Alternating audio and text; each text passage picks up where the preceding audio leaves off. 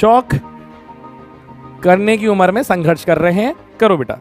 ये भी बेटा आप याद कर लेना। हाँ जी सर इंपॉर्टेंट है।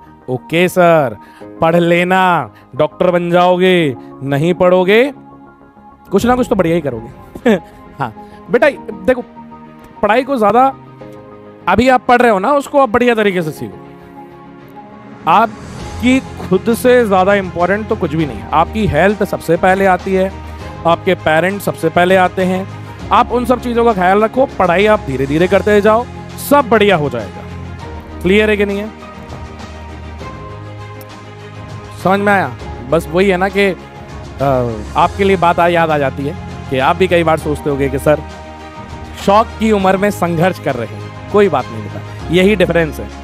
और जो अभी शौक कर रहे हैं, वो आगे संघर्ष करेंगे। तो आप बढ़िया से अभी संघर्ष कर लो। आने वाले समय में आपके सारे के सारे शौक पूरे होंगे। अभी थोड़े आप अपने आप को डिसिप्लिन में ले आओ बेटा। अभी आप अपना थोड़ा हार्ड वर्किंग वाला मोड ऑन करके रखो। कई बार ये बोलते हैं कि, sir hard work hard work hard work क्या है? क्या पेशेंस है? क्या डिसिप्लिन है? तो इसका मतलब बेटा, मेरी लैंग्वेज में तो यही है, मैं जो समझता हूँ वो ये है कि यार, जो चीज़ हमें अच्छी लगती है ना वो तो हम बहुत बढ़िया तरीके से करते हैं। हमें खेलना पसंद है तो भाई हम दिन भर खेल सकते हैं, कोई हमें खिलाए। हमें घूमना पसंद है, हमें गाड़ी चलाना पसंद है, हमें फ़ोन चलाना पसंद है, हमें मूवी देखना पसंद है, हमें दोस्तों के साथ बैठ करके गपशप चिल करना पसंद है। वो डिसिप्लिन नहीं है, वो हार्डवर्क नहीं है। हार्डवर्क वो है कि जब आपको कोई चीज़ करनी ना पसंद हो ना, आप उस चीज़ को भी शिद्दत से करो, मेहनत से करो। दैट इज़ डिसिप्लिन डिसिप्लिन ये नहीं है। डिसिप्लिन दुनिया का सबसे मुश्किल काम है, बेटा।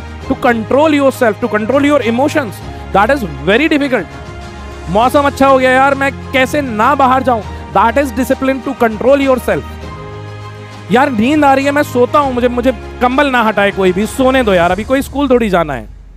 नहीं, पर उस टाइम पे आप उठ करके पढ़ने बैठ गए दैट इज़ डिसिप्लिन मैं जानता हूँ आपका मन नहीं है। पर बेटा, ये डिसिप्लिन इज़ इंपॉर्टेंट कि यार, जो चीज़ हमें नहीं पसंद है, हम उस चीज़ के लिए भी संघर्ष कर रहे हैं फाइट कर रहे हैं, मेहनत कर रहे हैं। दैट इज़ डिसिप्लिन आप ये समझो।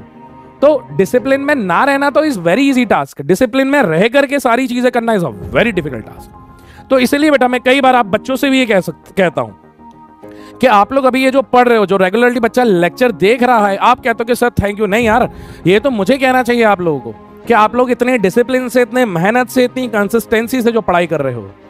ठीक है? सम डे विल कम आज नहीं, अभी ये नीट के एग्ज़ाम में नहीं, कहीं ना कहीं एक मौका ऐसा ज़रूर आएगा बेटा। मैं कह रहा हूँ, जहाँ पे मुझे तुम पे हमेशा प्राउड होगा। And believe me I trust you like anything आप बहुत कुछ करोगे। ऐसा नहीं है कि आप नीट निकाल लोगे, तभी मुझे बहुत फक्र महसूस होगा। नहीं बेटा, आप मुझे यकीन है, आप मुझसे जुड़ गए हो। आप अपनी लाइफ में कुछ ना कुछ बहुत अच्छा करोगे। नीट करोगे डॉक्टर बनोगे दैट्स वेल एंड गुड नहीं करोगे that is also well and good कुछ ना कुछ बहुत बढ़िया करोगे। I trust you I trust you मुझे आप पे बहुत विश्वास है। ठीक है? तो आप भी अपने आप पे ट्रस्ट रखो, विश्वास रखो कि बढ़िया कुछ ना कुछ होगा। बहुत बढ़िया चीज़ आपका वेट कर रही है बेटा। क्लियर है? हम अभी इंस्टेंटेनियस चीज़ देख करके बड़ा डाइवर्ट हो जाते हैं। हम अपने आप को कोसने लगते हैं। हम अपने आप को बहुत गिल्टी फील कराते हैं। नहीं, ऐसा नहीं है यार। Things will change time will change सारी चीज़ें धीरे धीरे बदलती हैं बट उसके लिए हमें अपने आप को डिसिप्लिन और हार्ड वर्क में रखना होगा। विश्वास मानो आप, जब ये दो चीज़ें एक साथ चलती है ना डिसिप्लिन एंड हार्ड वर्क आप लाइफ में कभी फेल नहीं हो सकते। अभी कुछ अच्छा ना मिले this is instantaneous something big and great is waiting for you in the future तो आप अभी के हालात देख करके आप अपनी कहानी मत बनो यार। आप आप आप आप अपनी पिक्चर के हीरो हो। और मेरा हीरो तो हीरो ही रहेगा। समझ में आ रहा है कि नहीं आ रहा? है हाँ आप अपनी पिक्चर के हीरो हो। आप ऐसे लाइफ जियो। ठीक है? हाँ। तो सर, ये वाली चीज़ें हमें समझ में आ गई, आपकी बातें भी समझ में आ गई हैं, अपन आगे चलते हैं। मैंने कहा, बिल्कुल, आगे चलने से पहले बेटा अपन एक बढ़िया सा सवाल करेंगे। ठीक है? फ्रेश पेचे पे करते हैं, इसको डिस्टर्ब नहीं करते। एग्ज़ाम्पल क्या दिया गया बेटा? मेरे दो कंडक्टर दिए गए हैं इस तरीके से।